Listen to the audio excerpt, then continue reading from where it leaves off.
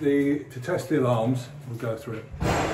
You can there's the key s- Yeah. for the call point.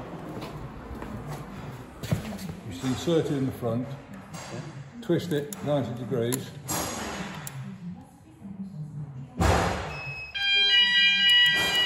And take the key out. Yeah.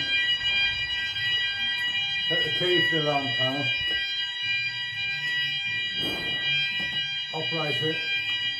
And then silence alarms.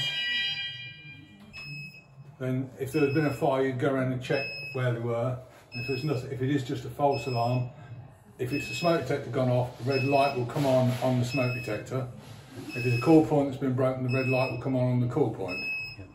Uh, and then when you find there's nothing wrong, you can just press reset system and that's it. If you want to get everyone out in a hurry do just a, manual test, you can actually press sound alarms, and then the same applies. Silence alarm. Okay, and then that's it. And then take your key out again.